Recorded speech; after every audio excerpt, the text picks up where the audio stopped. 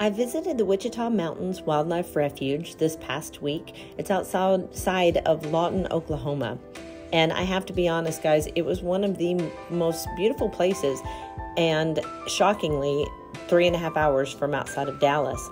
Living in Texas, sometimes you can miss things like the changing of the leaves, um, at least in the part that I'm at. So when I went here, it was great to see the leaves changing. There were lakes that were just beautiful. As you can see from the video, there were longhorn just walking through the park area, the campground area. Like if you're sitting at a picnic table, they could just possibly walk up.